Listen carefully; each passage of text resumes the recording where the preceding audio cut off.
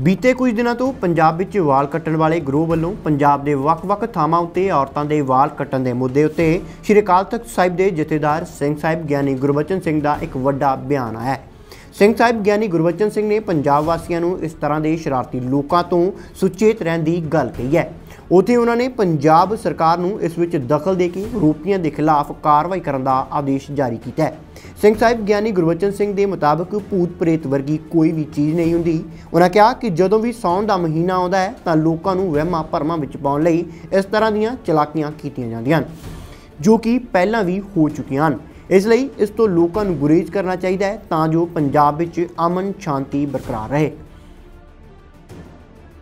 ਇੱਕ ਸੋਚੀ ਸਮਝੀ ਸਾਜ਼ਿਸ਼ ਹੈ, ਲੋਕਾਂ ਦੇ ਵਿੱਚ ਮਾਹੌਲ ਜਿਹੜਾ ਹੈ ਡਰ ਦਾ ਪੈਦਾ ਕਰਨਾ ਚਾਹੁੰਦੇ ਨੇ, ਲੋਕਾਂ ਨੂੰ ਭਰਮ ਭੁਲੇਖਿਆਂ ਦੇ ਵਿੱਚ ਪਾਉਣਾ ਚਾਹੁੰਦੇ ਨੇ, ਇਸ ਦੇ ਉੱਤੋਂ ਕੋਈ ਆਪਣੀ ਕਮਾਈ ਵੀ ਕਰਨੀ ਚਾਹੁੰਦੇ ਨੇ। ਚੜੇਲਾਂ ਵਗੈਰਾ ਇਸ ਤਰ੍ਹਾਂ ਦੀ ਕੋਈ ਘਟਨਾ ਨਹੀਂ ਹੈ, ਨਾ ਕੋਈ ਗੱਲਬਾਤ ਹੈ। ਇਹ ਪ੍ਰਸ਼ਾਸਨ ਨੂੰ ਅਣਗਹਿਲੀ ਨਹੀਂ ਕਰਨੀ ਚਾਹੀਦੀ। ਇਸ ਦੀ ਡੂੰਘਾਈ ਤੱਕ ਜਾਣਾ ਚਾਹੀਦਾ ਹੈ ਔਰ ਜਿਸ ਤਰ੍ਹਾਂ ਇਹ ਦਿੱਲੀ ਦੇ ਨਾਲ ਉੱਥੇ ਇੱਕ ਘਟਨਾ ਵਾਪਰੀ ਇੱਕ ਪੋਤਰੇ ਨੇ ਹੀ ਆਪਣੀ ਦਾਦੀ ਦੀ ਗੁੱਟ ਕੱਟ ਦਿੱਤੀ ਗਈ।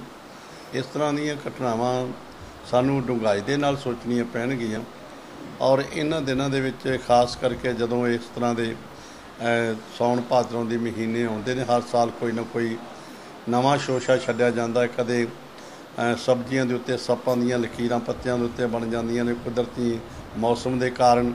ਉਹਨੂੰ ਕਿਹਾ ਜਾਂਦਾ ਵੀ ਇੱਥੇ ਸੱਪ ਸਾਰੇ ਫਿਰ ਗਿਆ ਇਹ ਕੋਈ ਤੋਰੀਆਂ ਨਾ ਖਾਓ, ਇਹ ਨਾ ਕਰੋ, ਉਹ ਨਾ ਕਰੋ। ਕਦੇ ਕਾਲੇ ਕੱਛਿਆਂ ਵਾਲੇ ਦਾ ਭੈਰ ਲੋਕਾਂ ਨੂੰ ਡਰ ਦਿੱਤਾ ਜਾਂਦਾ ਹੈ। ਇਸ ਤਰ੍ਹਾਂ ਦਾ ਲੋਕਾਂ ਨੂੰ ਲੁੱਟਣ ਦੇ ਵਾਸਤੇ ਸਾਰੀਆਂ ਕੁਝੀਆਂ ਚਾਲਾਂ ਚੱਲਦੀਆਂ ਜਾਂਦੀਆਂ ਨੇ। ਲੋਕਾਂ ਨੂੰ ਵਹਿਮ ਭਰਮਾਂ ਵਿੱਚ ਨਹੀਂ ਪੈਣਾ ਚਾਹੀਦਾ। ਸਗੋਂ ਸਾਵਧਾਨਤਾ ਵਰਤਣੀ ਚਾਹੀਦੀ ਹੈ। ਜੇ ਕੋਈ ਇਸ ਤਰ੍ਹਾਂ ਦਾ ਕੇਸ ਸਾਹਮਣੇ ਆਉਂਦਾ ਹੈ, ਤੇ ਉਸ ਦੇ ਉੱਤੇ ਗੰਭੀਰਤਾ ਨਾਲ ਵਿਚਾਰ ਕਰਕੇ ਉਹਨੂੰ ਫੜਨ ਦੀ ਕੋਸ਼ਿਸ਼ ਕਰਨੀ ਚਾਹੀਦੀ ਹੈ।